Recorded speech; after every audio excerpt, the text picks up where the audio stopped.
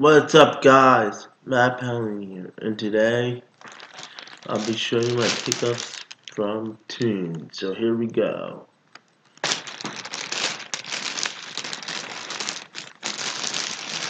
It is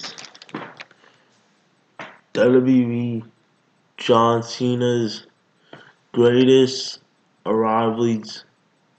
They're pretty cool. Here's the back of it. Pretty cool. There's a three disc set. Here's what it looks like inside. Pretty cool.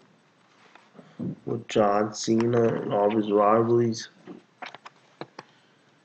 Here are some other ones. The discs. Pretty cool. Really like it. The guys. This is my pickup from Tunes. The guy once again. Please like this video, leave a comment, and sub for a sub.